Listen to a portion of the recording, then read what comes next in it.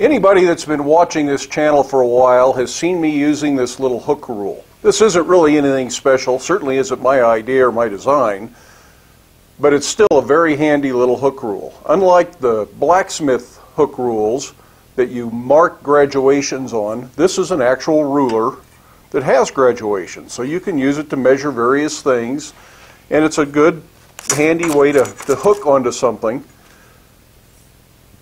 to get very accurate measurements because it also has an outside scale. You can use it for outside measurements. There's a scale on the end here and a scale on the inside. It can be used for lots of different quick measuring jobs. At the forge, it's very useful, but sometimes the hook ruler with the pencil marks is better, and sometimes dividers and calipers are better. So it just depends on what the right tool for the job is, but sometimes this is it. And people have asked, oh, where do you get one of those? Well, you make one. This is nothing more. I happen to have a little box here.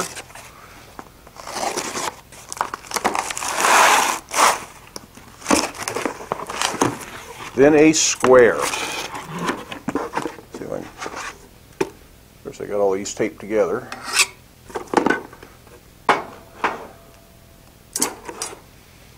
So this is just a Stanley square that I buy, and you can find squares similar to this at the home center. The reason I chose this one was both because of the size of it. I was wasting as little of this leg as, as possible as opposed to a big framing square, but also because the letters are not printed, they're etched in, so they're permanent letters, and if it starts to get corroded and rusty, you can polish it back up, and those all the numbers and graduations will still be there. These are uh, super simple to make.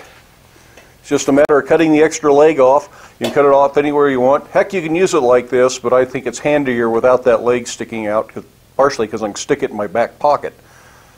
And what I have decided is that I like to go from this 2-inch mark so that I have a 2-inch back section, and I like to have the 1 inch here. And those are handy measurements to just have as quick references.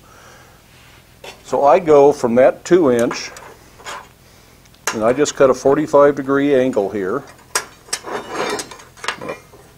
Prop that up on something. So I'm just going to scribe across here so that I can see that. And then I'm going to go from the 1 inch mark, which you know, already has a nice scribe mark. I just carry that across. So I'll knock that corner off and cut that Makes a nice, neat, neat little uh, square to work with that way. And this is a Stanley, does it have a part number? Of course, I don't see a part number on there, so I'm not sure what it, oh, there it is, 45-912. It's written right in here. 45-912 is the model of the square. But like you say, there are lots of other squares you can do this out of. If you want a big version, use a big framing square.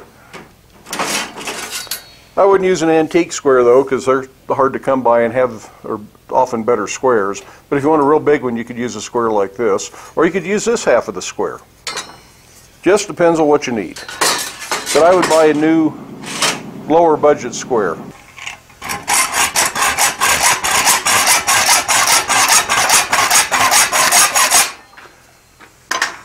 So that's useful just like it is, but I still want to lop that corner off. Truth is, I usually do this in the uh, little Porta-Band. It makes nice quick work of it.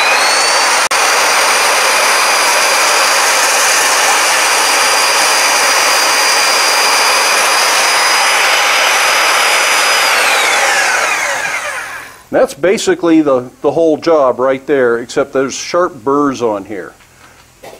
So I would take a file, a fairly fine file, and I would file the burrs off. Or what I usually do is I take it, I've got a fiber deburring wheel on a grinder, and I'll use that just real lightly, just enough so there's no sharp spots. It's going to be a tool you're going to have the rest of your life. You might as well make it nice. I like to hang mine up on a nail, so I'm going to put a hang hole in this. Let's pick a spot where the hole won't be in your way. It won't mess up with any of your graduations and put a center punch mark. Use a hand drill or a drill press, whatever you got.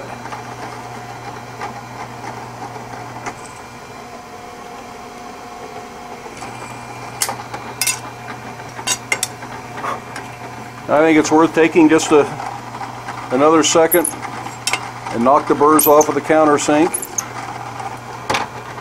No reason to cut yourself on this while you're using it. And that is pretty much it. Except for peeling the label off. That seems to be the most tedious part of this because they always tear and leave film behind. So you're going to need some Goo Gone or some other kind of solvent to help you get the sticky off the label. But other than that, that's quick, easy to make. These squares cost about $5 plus shipping if you buy them and have them shipped. If you find them at your local home center, they may be more like $6 and you don't have to pay shipping. No big deal. It's a quick, inexpensive, very functional tool. I like having them around. But if you don't want to take the time to make one for yourself, I frequently have these listed on my Etsy shop. I make up a half dozen or so, which is why I had a box of squares. And if you want to, there's the commercial announcement. You can go buy one of these on Etsy. In the meantime, go out to the shop, have some fun, stay safe, wear your safety glasses, and we'll see you later.